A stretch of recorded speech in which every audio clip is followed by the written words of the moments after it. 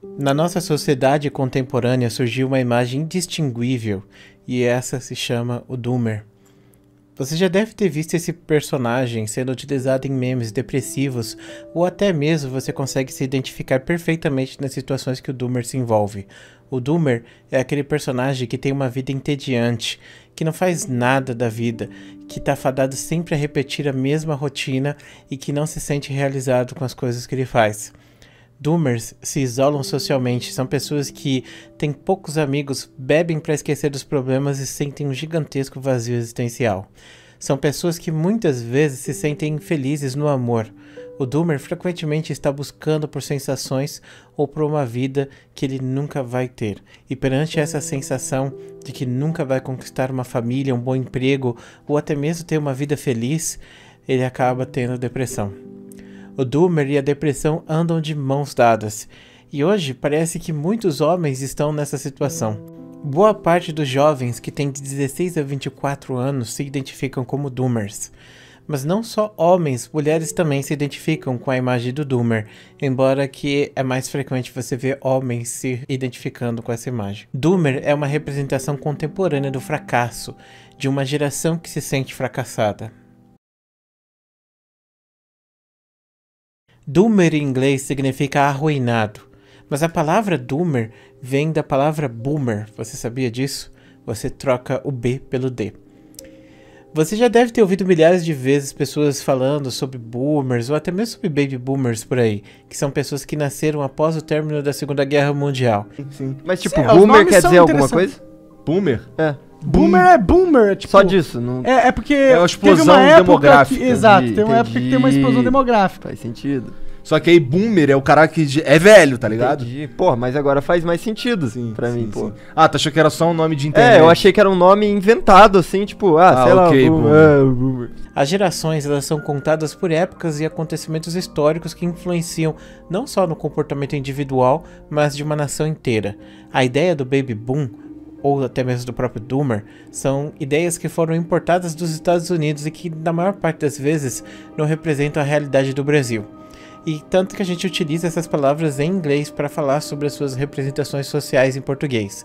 Mas uma coisa é importante dizer: no Brasil não existem boomers.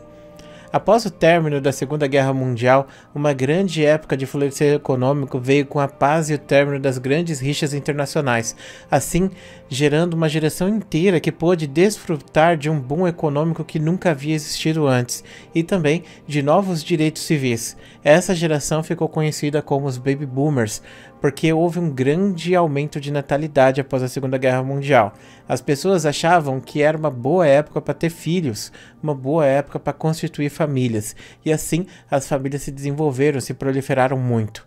Bom, os boomers, eles são hoje pessoas que têm 50 a 60 anos de idade em média.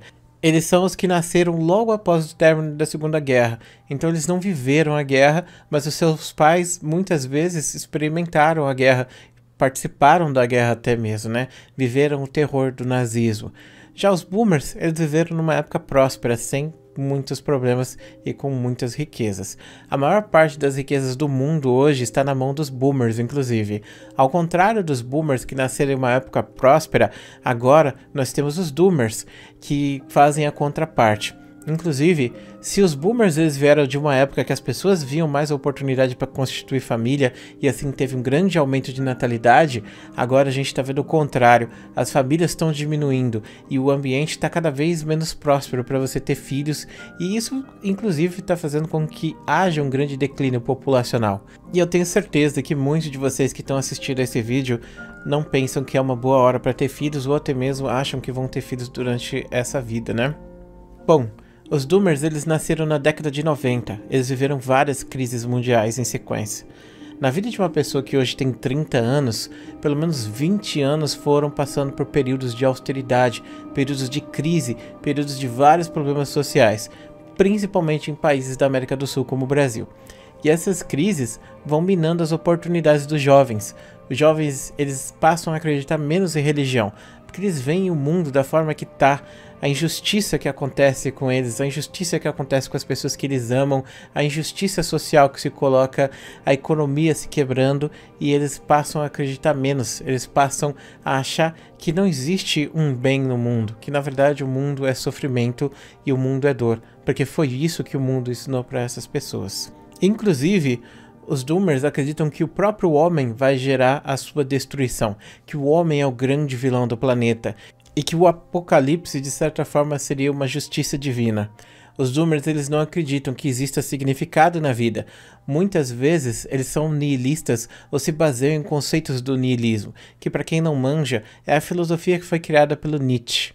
Resumindo o nihilismo para vocês, não existe significado na vida, não existe caminho na vida, não existe motivo na vida, não existe nada. Existe apenas o caos e você é fruto desse caos. A dor e o sofrimento é o que forma a vida que você tem hoje. E esse pensamento filosófico, ele tem sido norte para a maioria da juventude hoje em dia.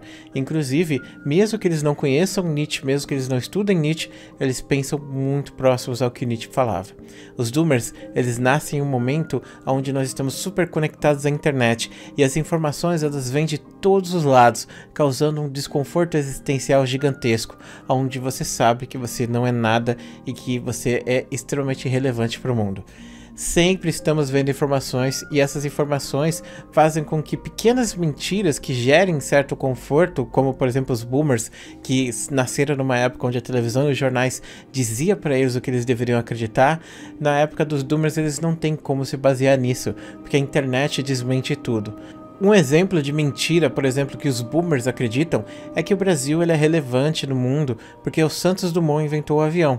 E isso é uma grande mentira que foi contada pelas escolas para gerar um certo nacionalismo entre o brasileiro, quando na real o Brasil é um país extremamente relevante para o mundo. E outra mentira que os boomers inventaram também é que existe um remédio milagroso contra a pandemia aí que está acontecendo. E como vocês sabem, na verdade isso não cura nada, né? E obviamente existem pessoas que ainda acreditam nessas mentiras para ter certo conforto, mas a imensa maioria dos jovens, a imensa maioria da minha geração é doomer e acredita que isso está tudo errado e que não tem para onde sair. A ideia do niilismo é aceitar esse vazio existencial esse vazio que você sente é o que vai direcionar você a transformar isso em algo, a fazer algo com isso. Porque se tem algo vazio, você pode preencher isso com alguma coisa, você pode dar um sentido para isso. E Freud se baseou muito nos conceitos nihilistas para criar a sua teoria, a psicanálise, que um dos conceitos mais importantes da psicanálise é a sublimação, que se baseia muito nesse conceito do nihilismo. O sofrimento, ele existe, e aceitar o sofrimento é importante para ter uma vida plena. Aceitar o vazio existencial é importante para que os doomers eles consigam encontrar um sentido para suas vidas, para que eles consigam encontrar a sua felicidade. E na psicanálise a gente usa isso como terapia. E a ideia é não se enganar, não acreditar em mentiras que podem te trazer certo conforto, mas aceitar quem você realmente é, conhecer quem você realmente é, para buscar o que você realmente quer, o que você realmente quer ser, sem nenhum tipo de amarra, sem nenhum tipo de coisa que te limita e faz você ser, seguir algum caminho especificamente. O sofrimento, ele existe. E quando um Doomer ele aceita o seu sofrimento, quando um Doomer ele consegue passar por todas essas provações, ele se transforma. E ele se transforma num Bloomer. Bloom em inglês é florescer.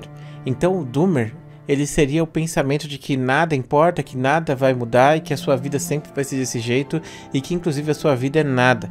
Mas aceitar e lidar com esse sentimento ruim é o caminho que você precisa trilhar para florescer e existir junto com esse vazio e preencher ele com experiências e coisas positivas, assim se tornando um ser positivo. As gerações elas mudam e de acordo com as épocas que nós vivemos, a gente tem novos comportamentos surgindo, novas ideias surgindo. O conceito que se dá para isso é o Zeitgeist, porque a vida é assim. A vida ela tem o seu espírito do tempo. E o tempo é o que define o que uma geração vai pensar, quais são os caminhos que uma geração vai trilhar. A geração do Doomer está contra a parede. E infelizmente, essa geração está tendo vários problemas com depressão e coisa do tipo e ansiedade, porque é muito difícil lidar com tudo isso que está sendo jogado na nossa cara o tempo inteiro.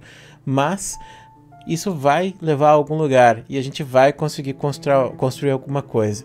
E se o próprio conceito de bloomer seria uma evolução do doomer, então a gente já sabe que a gente vai conseguir fazer alguma coisa boa e que a gente vai deixar o mundo melhor para os próximos que vierem poderem viver nele. Porque a vida é assim, sempre construir coisas melhores. Infelizmente os boomers não fizeram nada, mas a vida é assim.